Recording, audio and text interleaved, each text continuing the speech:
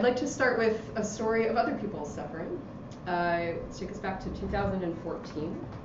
And a woman named Brisha Borden, who is a young African American woman, was late to pick up her godson from school. So she was walking down the street with her friend, and she noticed that there was two stray uh, items, a small bicycle and a scooter.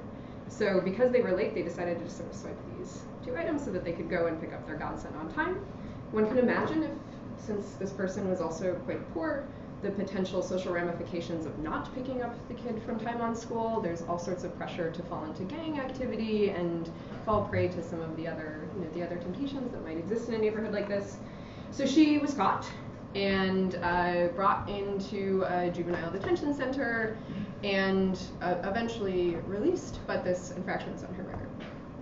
Uh, fast forward, actually, reverse back a year before, where a man named Vernon Prater walked into a convenience store armed and stole. Oh, one thing I forgot to mention: the total value of goods for the uh, the Huffy bicycle and the small scooter was less than eighty dollars U.S. Okay, year before, Vernon Prater walks into a convenience store. He's armed. He steals, I think it was $83.67 worth of material. Uh, Prater had a criminal record in his past. He'd been caught for armed robbery on multiple occasions.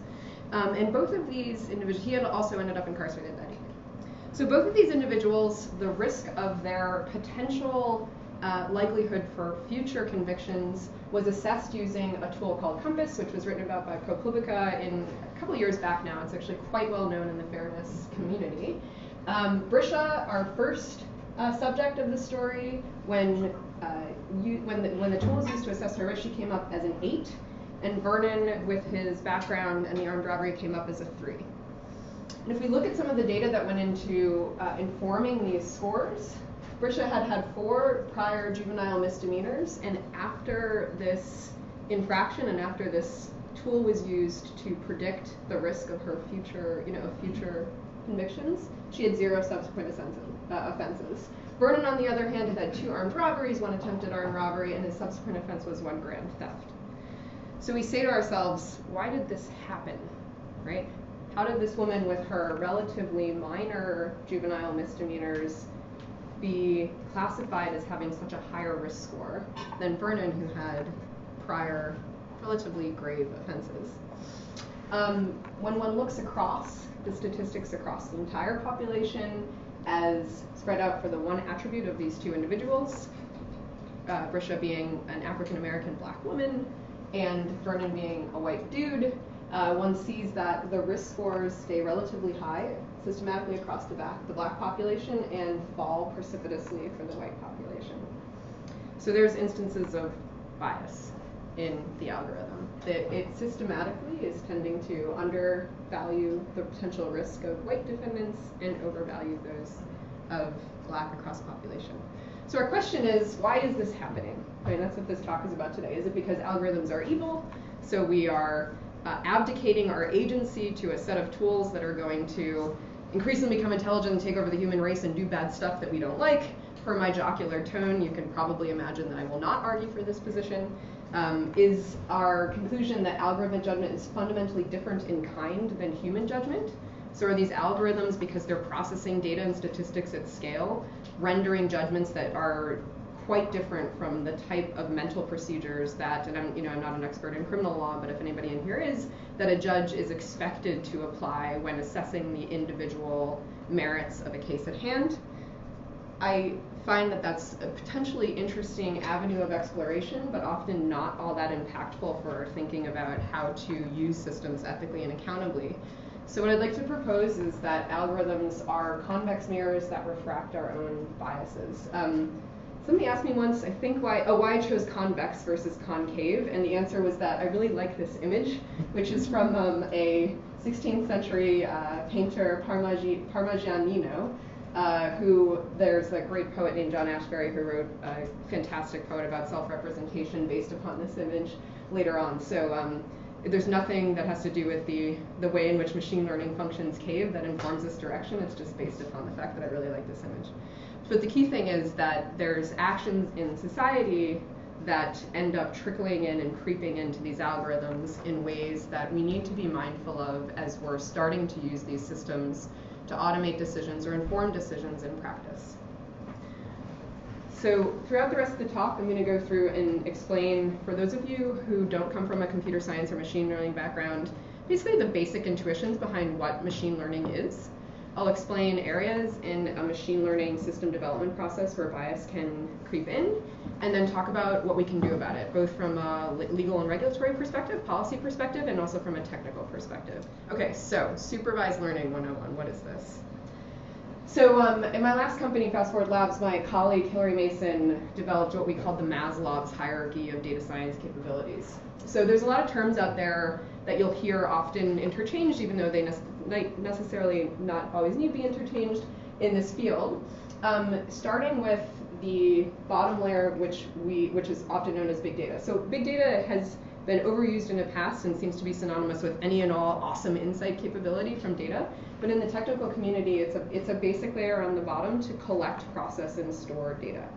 So once we have data, we can do stuff with it, right? We can process it. So the sort of first layer of things that we can do with it is we can count things uh, that occurred in the past. So analytics is the practice of performing relatively basic operations, counting, multiplying, subtracting, dividing, um, so as to gain some basic insights into things that have happened in the past so as to inform qualitative decisions about what one might do in the future. When you push into data science, the scale of these operations can become a little bit more complex. So as opposed to just adding and subtracting, we can define functions that do a good job mapping relationships in this data so as to not inform qualitative decisions but inform quantitative actions, automated actions sometime in the future. So basic example would be uh, linear regression. So you've got a bunch of data points, we'll talk about this in the future, and you, you map a line that does a decent job capturing the sort of distribution of that data. And once you have that, when you put in a new point, you can say, okay, what's the corresponding output when I put in an x? Like which, which y do I get here, okay? Um, when we move into machine learning, the slope of that line can change. So as we get feedback, if we get new data points, or as the system engages out in the world, we can update the slope of our curve so it does a job mapping it.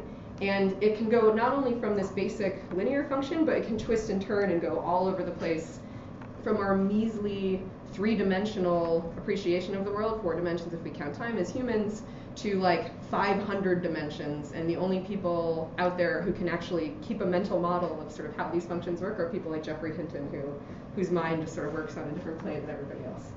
Um, so processing, counting, making functions, functions with feedback loops that update over time, and then AI is sort of a marketing term that I like to consider whatever computers can't do until they can. So it's a, it's a psychological term that encompasses a wide range of underlying techniques, machine learning being the most popular today. That wasn't always the case. Um, I like thinking about it baking this notion of progress into the definition uh, to help think through the fact that there's not a rigorous technical, technical definition of products that, that qualify as machine learning products and products that don't. So Google Maps, um, for me, is a great example of a product that we don't in our common day-to-day lives think about as a machine learning product or AI today, but it's built on a massive amount of data and really sophisticated machine learning algorithms. Um, contrast that with self-driving cars, which feel like they're just barely possible and they're very AI-y based upon the type of capabilities that map to our own human capabilities.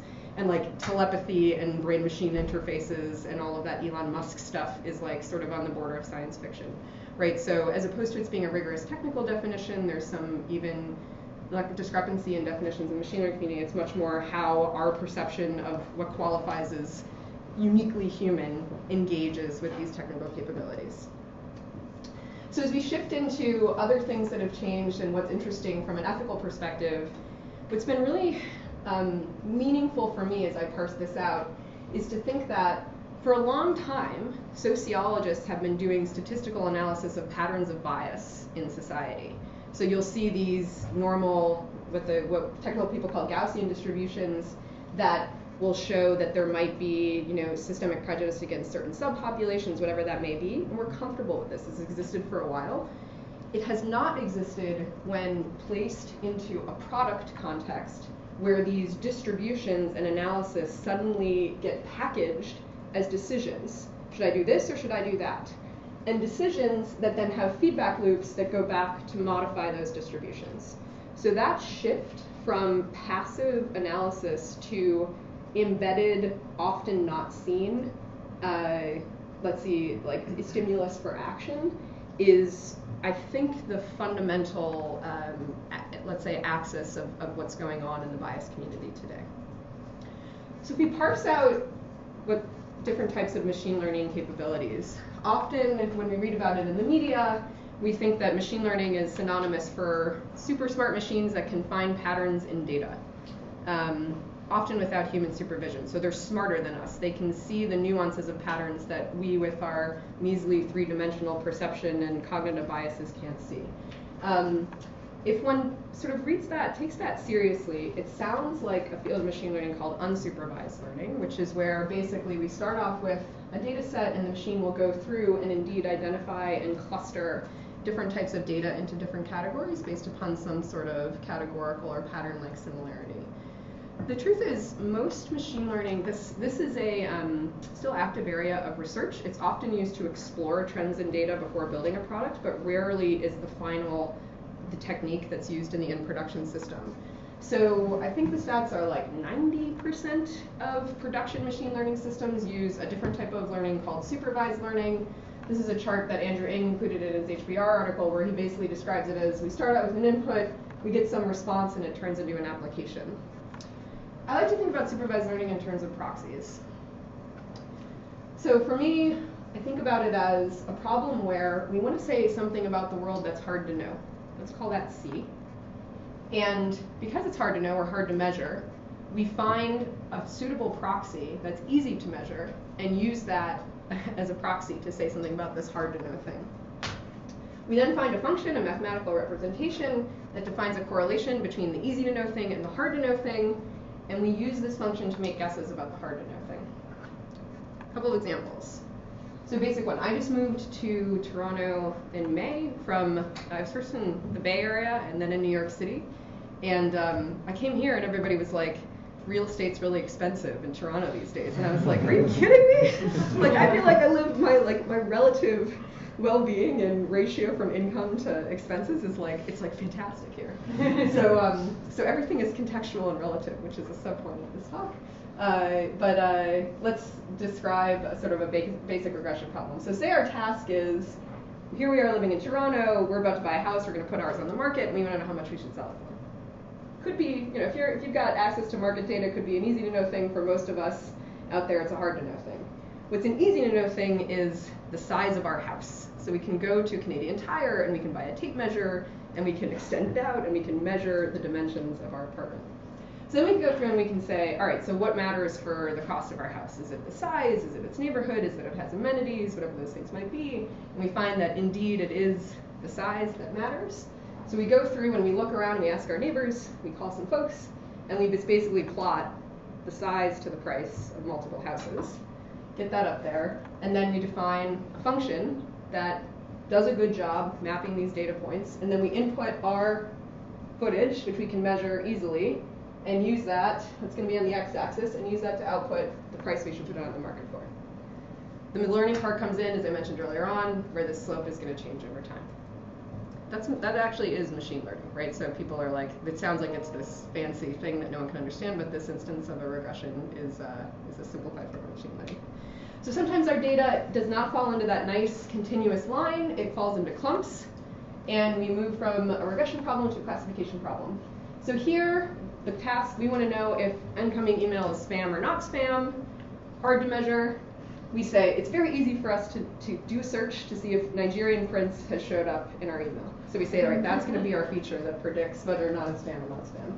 So you can imagine our classification, if we're only using Nigerian prince, is going to be a little, it's going to be a little faulty. We're going to have a lot of false positives in our, in our classification task. So we can continue to add on more and more features, like spelling mistakes, grammar mistakes, some sort of metadata, and list that out and turn it into a mathematical representation, we called it a vector embedding, that just gets more complex over time. And this line that separates the good from the bad, you know, the positives from the negatives, will be will do an increasingly good job, an increasingly accurate job, classifying those two pumps. So then we say, well, what if our P is super complex? So the task at hand is to classify the cats and the dogs in a set of images. And we say, I don't know, is it the is it the eyes? Is it the shape of the ears? Is it the texture of the fur? Right, so what P should we pick to do a good job being our proxy variable for the task at hand? And when it gets this hard, it's a good motivation to use some of the more complex tools that have fallen under the nomenclature of deep learning in recent literature, where we start off with our input data and then we use basically layers of computation set up as nodes in a network that are connected to one another with weights that can distribute signal with various degrees of probability. We basically spread out all of the knowledge compacted in what qualifies as a good relationship between P and C across this network um, and shift the work that we as machine learning technicians do from figuring out which features are going to be highly correlated to our output task and allow the network to sort of do that on itself. So a machine learning engineer here would select how many nodes in a network, um, the architecture of, of the solution so as to best map to the data. The corollary is that we often, because this knowledge has been distributed across all of these nodes and weights, don't really know why the system gave a particular output. It's not as readily cognizable by our measly simplifying brains. All right, so where does bias creep in?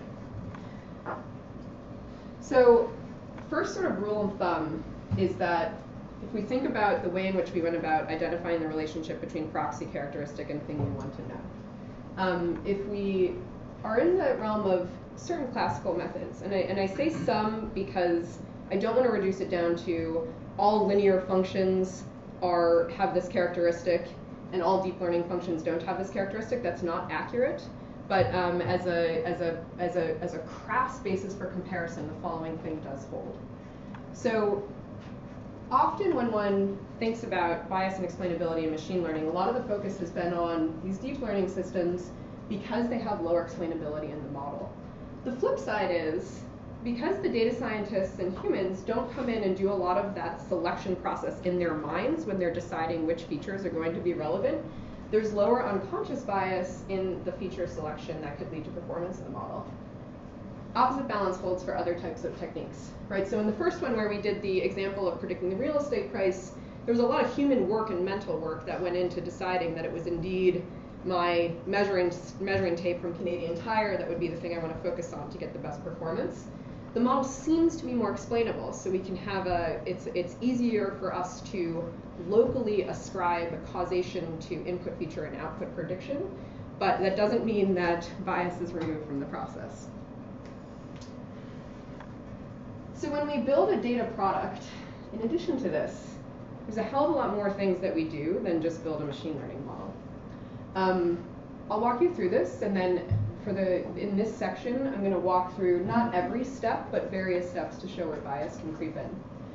So effectively, we start off by generating data, right? We have various tools out there that capture data in particular ways. It could be sensors, if you've got like your Fitbit on and it's sort of tracking all sorts of biometric data. It could be that we're, we're using Facebook and we're importing likes. So the design of the tools that generate the data in the first place are instances where bias can creep in we collect it. Um, sometimes we collect data about some populations, not others, based upon use of our systems.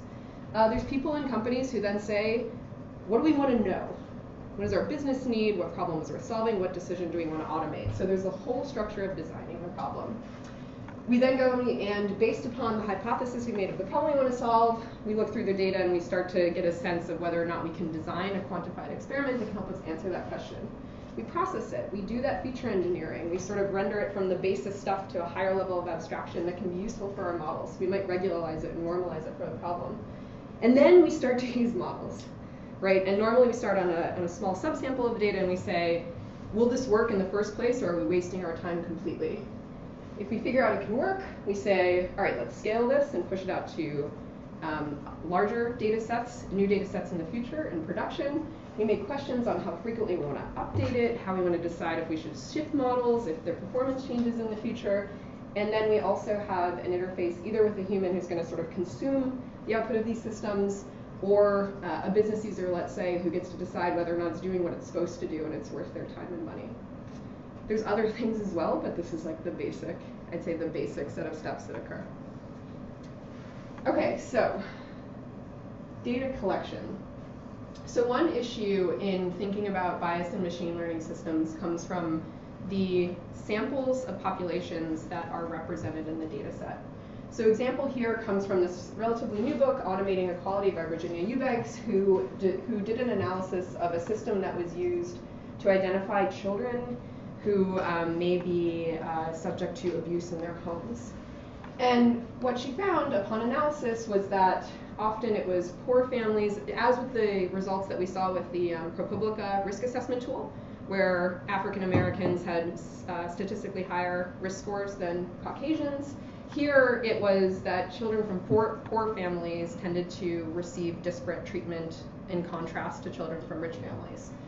And when she went through and looked through the analysis, um, it was seen that this Allegheny family screening tool, which was used by I can't remember exactly the bureaucratic um, the bureaucratic institution that was using it, they had tons of data on people who participated in public health programs. Uh, U.S. health system very privatized, a little bit different than here in Canada, and very little data on people who use private programs, which means the system most of the time tended to be biased towards the, date, the, the, the subparts of the population from which data had been collected. So this is an artifact of the contextual situation of the use of public health programs in the area that led to skewed results on the system. Um, next thing, a little bit of a comment on proxies. So this is something that, going back to the, uh, the need to find a simple proxy to say something about something that's hard to know.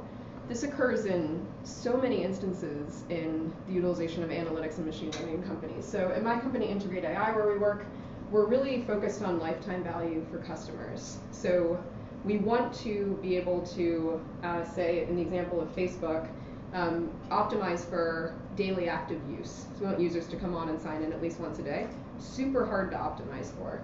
So there was a group of um, product folks at Facebook who found that there was an overlap and correlation between people who got to 10 friends within 14 days and people who ended up being daily active users.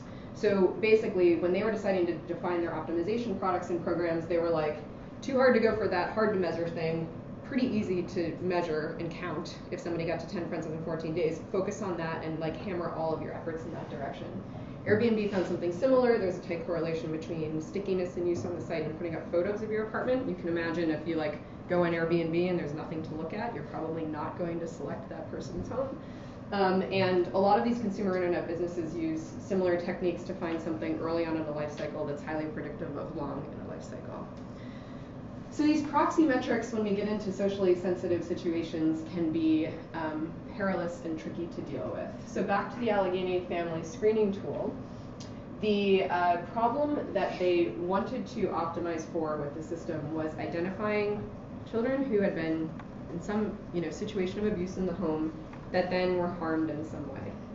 They didn't they couldn't observe the actual instances of harm. They said here that it was sort of neglect related fatalities. That number was quite low.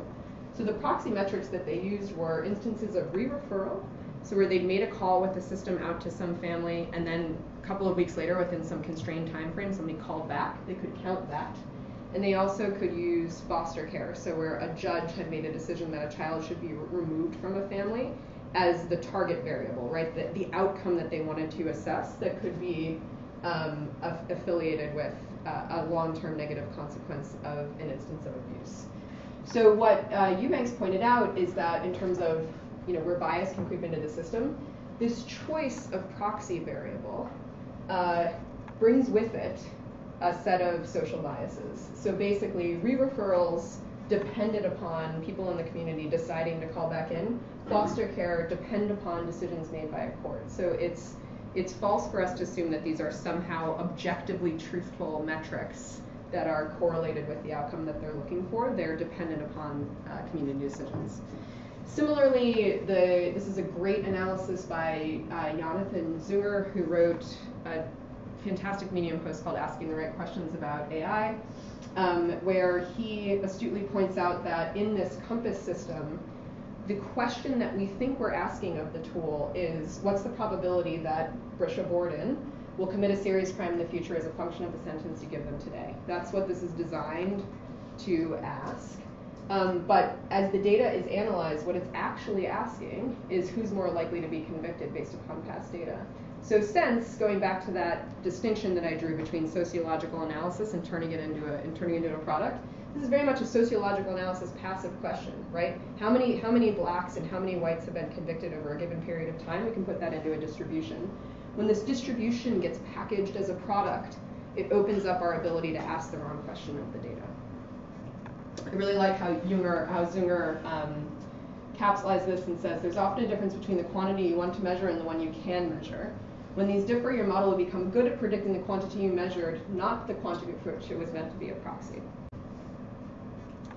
Last comment on design. So um, this is a slightly different point, and it has to do with the multiple subproblems that can exist within an ML context. Uh, to integrate, and the task that we had was to help them optimize outreach to individuals who had the highest risk-adjusted return. So what that means is they they want to make you know they want to find customers who um, can be pre-approved for credit cards and who then are going to spend a lot of money with the bank because they want to make the most money possible from their customers so they have to say as a marketing team, who should we reach out to when? We want to find people who can be pre-approved, people we have to do their expected risk of their default. We have to go on that and say not only like will they pay their credit card, but how much return will they get to the bank? So will they use their credit card a lot? And then we have to say of this set, who's the most likely to receive an offer that we you know that we give today. So I bring this up, this is slightly different from the notion of proxies, but it shows that one task actually has within it multiple sub-optimization tasks. And the there was a Gantt chart that I saw of um, procedures to even determine this, and it's like, it's mind-boggling how many steps there are in the process. Okay, so data processing. So shifting from what question are we actually asking to how do we work with the data and what biases might exist in our data set before we move into our models. so um, this data set comes from Kanetix, which is an insurance aggregator here in Canada. It's a bit like uh, Expedia for insurance products if you haven't used it yet. I'd recommend you do because I've seen the the distinction between a quote that you that one might get from the various insurance providers is like mind-boggling at least for um, at least for the input data that was given for an example like a toy test that we did with this we're working on a fair version of a model that we built for them with some folks at the vector institute right now and we went through and just found discrepancy in price and it was like $6000 for a policy versus like $2000 for the same policy it was insane um, and you know, our task is to figure out if there's if this is in any way correlated with sensitive protected features like gender and marital status. So those are all within this set. Uh, when we first got this, a data scientist in our team had to go through and figure out how to represent this data so that it could best achieve our task, which was to um, optimize to whom they should send promotions so as to get people to buy an insurance policy. And in doing so, uh, our data scientists spoke a lot with subject matter experts at Kanetix, who are humans who come with opinions and biases, as mentioned with the feature selection. So then we say, okay, so what do we do with this data to ensure that our predictions achieve the, the goal that we want them to achieve, but are hopefully as influenced as little as possible from the sensitive data in the set? So the first thing we could say is let's just remove all of the rows and columns that have features that we don't want in our model. So let's just take gender out. let's take income level out, marital status out, whatever we'd like. Uh, which is sort of a naive approach to it. I put this picture up because it has worked, this approach to blind fairness has worked quite well in other um, disparate impact settings. So this was a um, from I think it was in the 1970s where symphony orchestras had extraordinarily few female uh, concert mistresses and like principal violinists.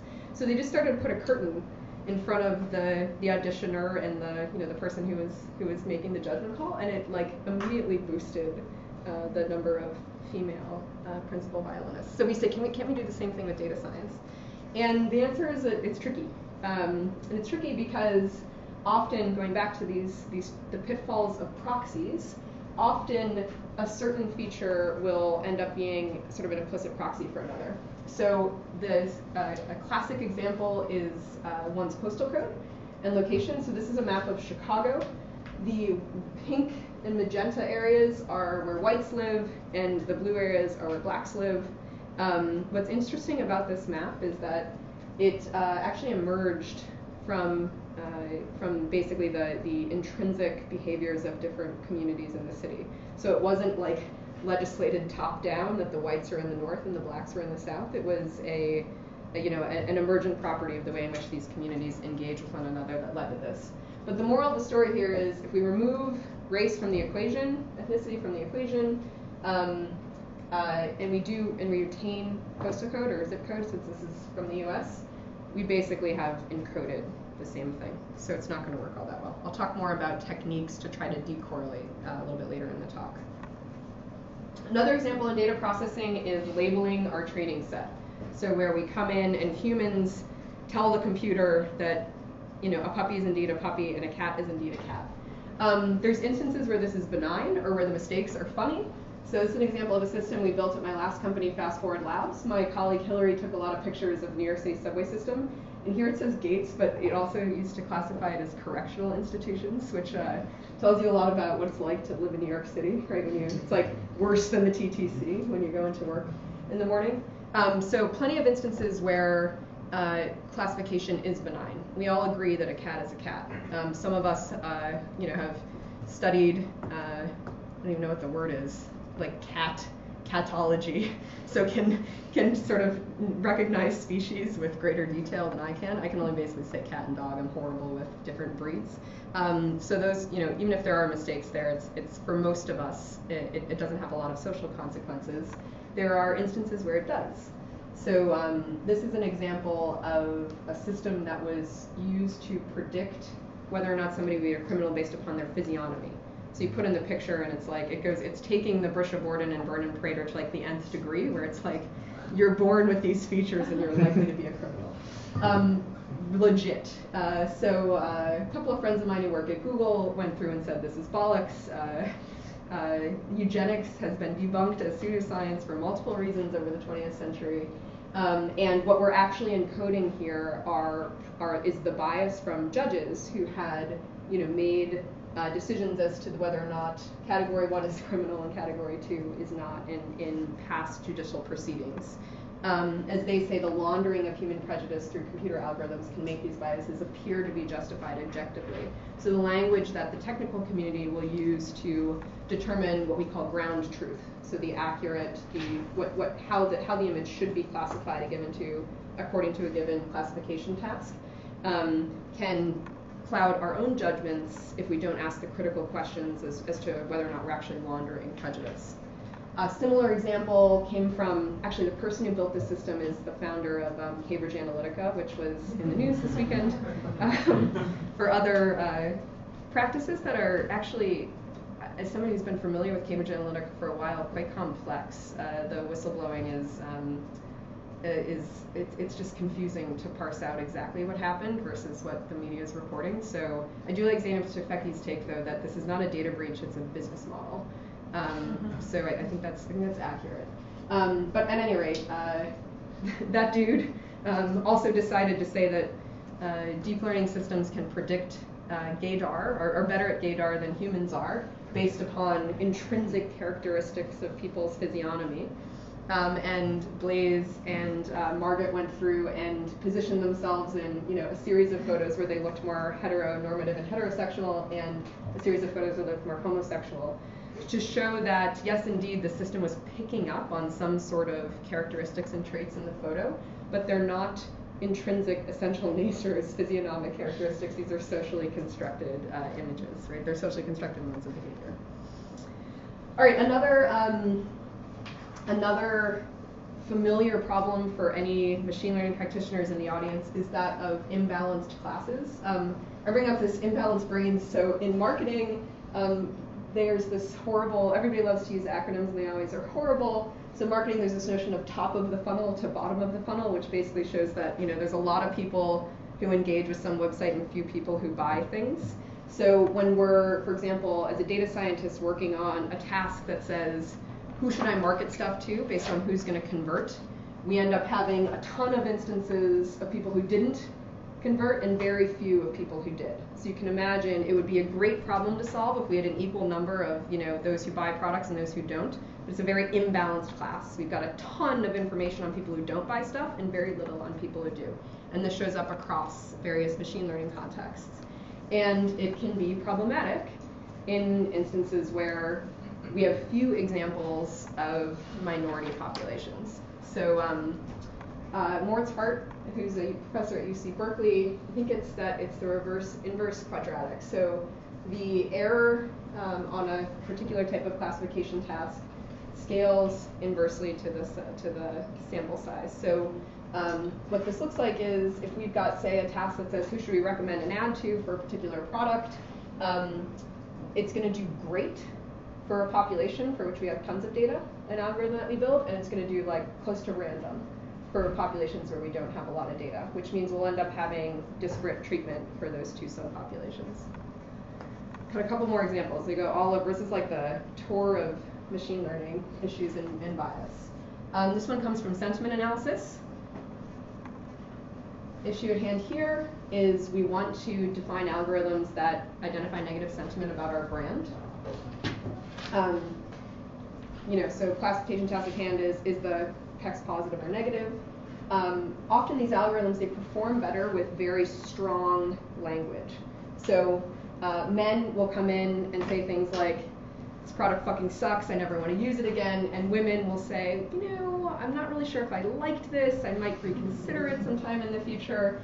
Right, and so the algorithms love the strident expression and have a little bit more time with the nuance. And it just so happens in our in society that men happen to use those strident expressions more frequently, which means in an automated, in the context of an automated system, they will get a disproportionate uh, amount of attention from the brand.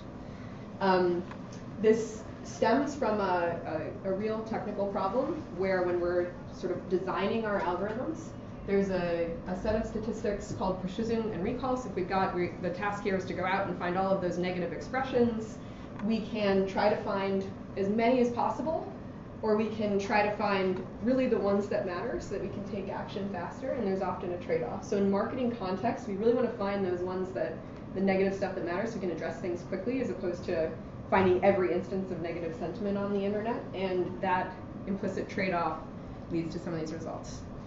I think this is the final example I have of um, areas where things can go wrong. Okay, so last one. This one comes from language processing, where in the field we've moved from uh, a traditional natural language processing structure that was influenced a lot by Noam Chomsky, where we sort of would take language and our means of rendering it, let's say, cognizable by a computer, um, computable, was to um, parse out a sentence into its various parts and then and then render those entities like into the ones and zeros and digitization bits that we use in in uh, in, in, computational systems.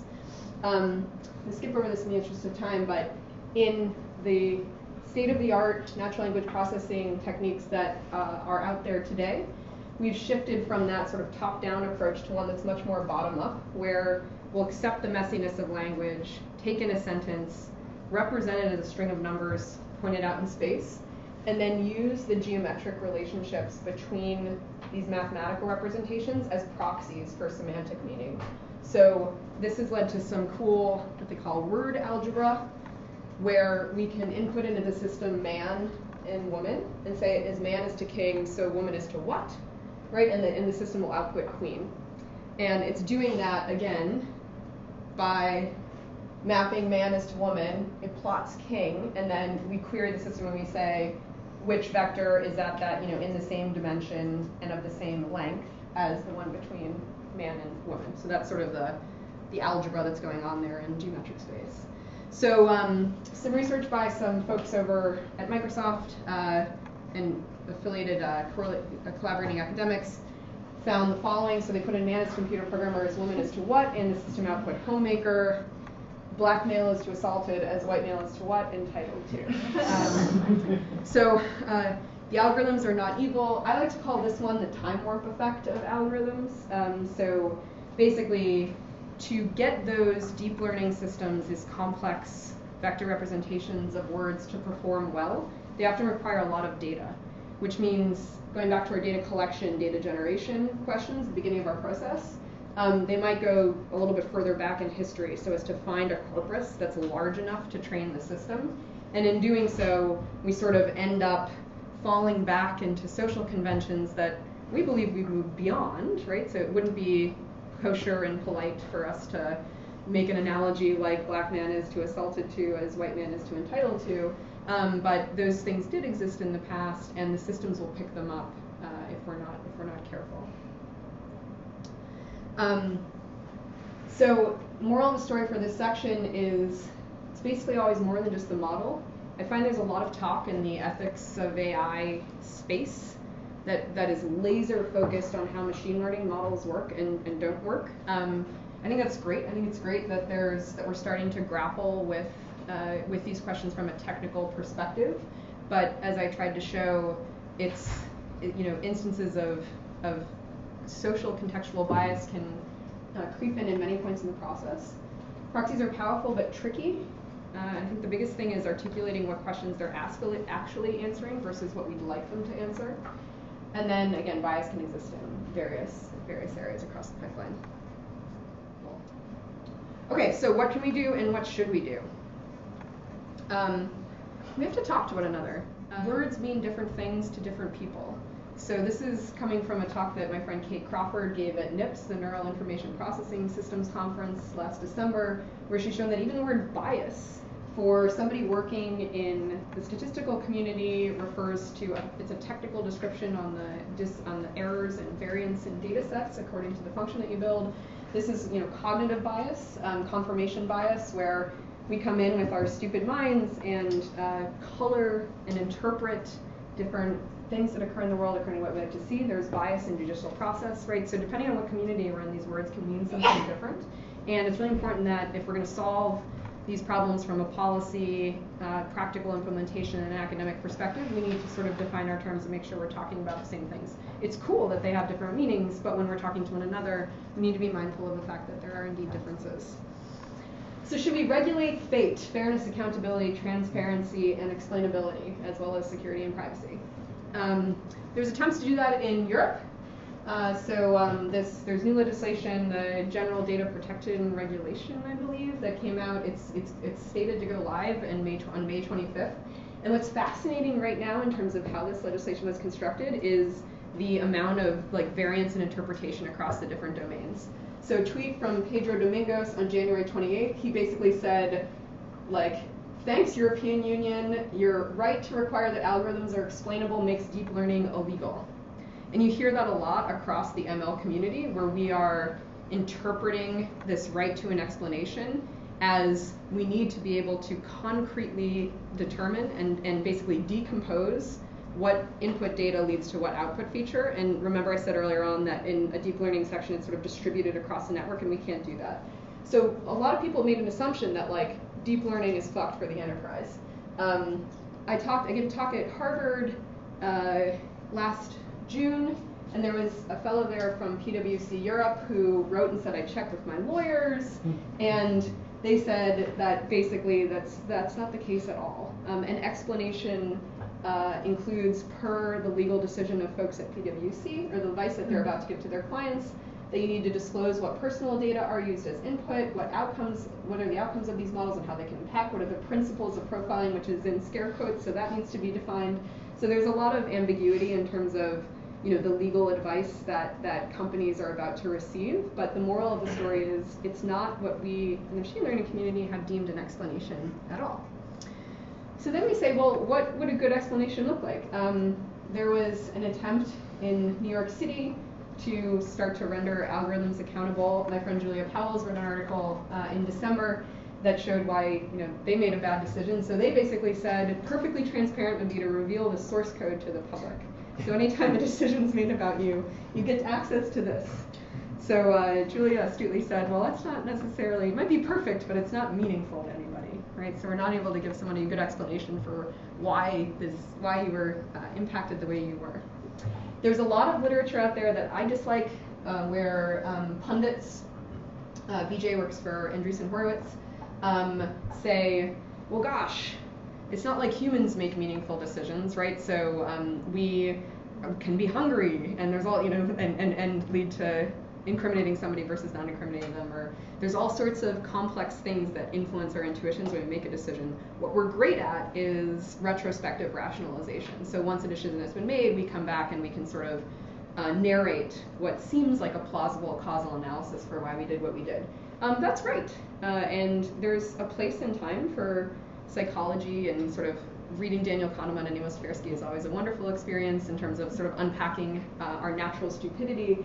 But I don't find these arguments are practical and charitable to actually lead to productive discussions on choices that people building systems can make as they think about what fairness means, what accountability means, what transparency means. Um, decrying our own our own cognitive bias doesn't help us solve that problem back to that slide that I put up with the various parts of designing a machine learning process, I feel like at each step there would be questions related to various types of accountability with less emphasis on what exactly is the model that we're using to solve the problem and more emphasis on what are the questions that we're asking in the various areas for social context to occur across the process. So, um, so in going through it, it starts off with a a design question related to what matters for the given situation. So there's not really like a one one size fits all approach to thinking about fairness because the task varies per context, the areas where bias can occur varies per context. So um, there's other sub questions, but two that I listed for this are um, what's you know what problem are we trying to solve? So um, how should we structure our optimization tasks? So example uh, with um, information retrieval in a legal context where the task is to find all of the relevant information for a case to make a decision as to you know as to to make a decision upon some matter we'd be interested in finding a lot as much information as possible presumably all of it as opposed to finding um, as opposed to having a lot of false negatives that we'd have to cull through um, adding additional work to our team. It's more important for the justice system that we, you know, we have we have that information versus spending more time working can be different in marketing. And then there's another one that's just sort of like, what is the bad outcome we're really worried about? Um, what's the worst thing that could happen if we deployed this system? Um, and then, as, as I mentioned earlier on, I think mapping the entire process of the data that's collected and how and why, all the way through the algorithm. Um, asking these clear questions when you get to the model, what your proxies actually measure, so that you can think about when the system is put in use. Um, there's differences, I think, that we would consider if it's just an automated decision or if there's a human that then's processing the output and then additional information that should be communicated to the user. All of these things could be written down, and I think they would be written down sort of during as, as part of documentation for a system. Um, the critical constraints are sort of policy-oriented constraints. So when we're solving our, our task, um, what are are there are there notions of fairness we need to put in there? Are there sort of extra societal issues we want to consider?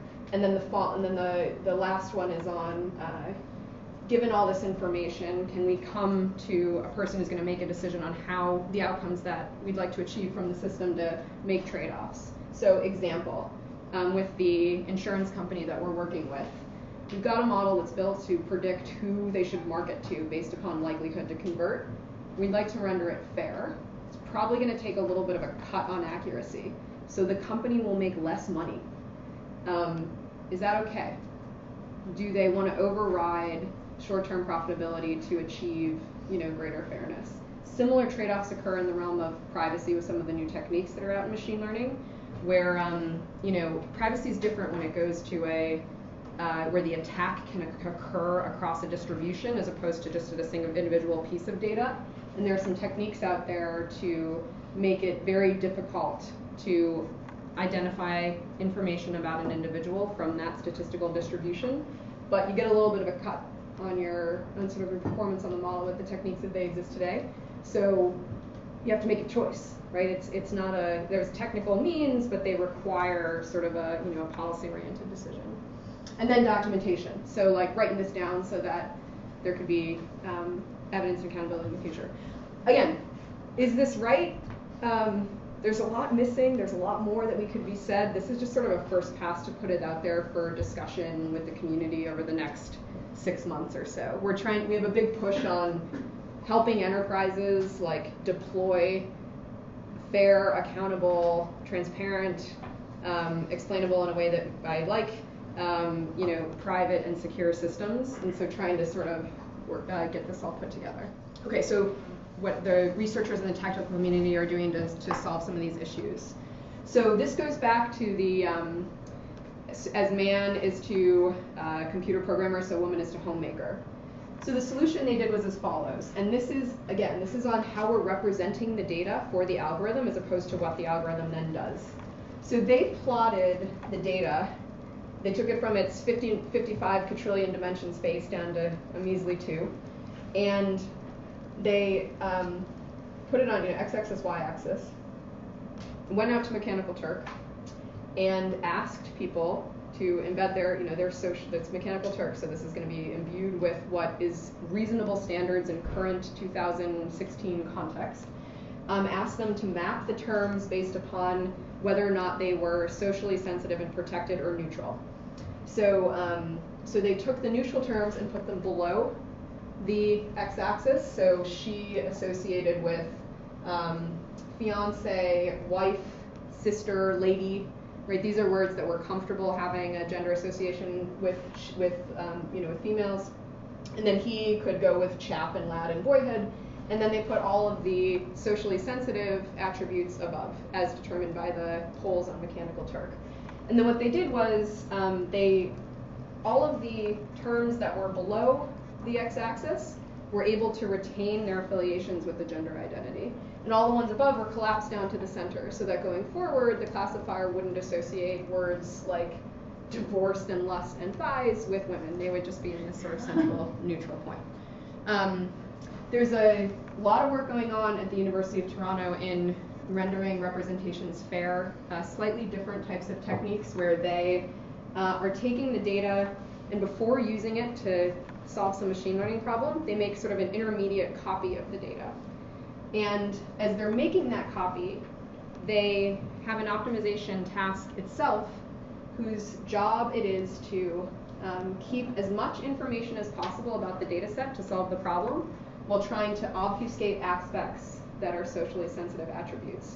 So it's basically a, a very clever way of trying to decouple, let's say, your ethnicity from your zip code, right? Or a social, like your gender from, I don't know, your favorite color, which just so happens to be highly predictive of your of your banking credit or whatever it may be.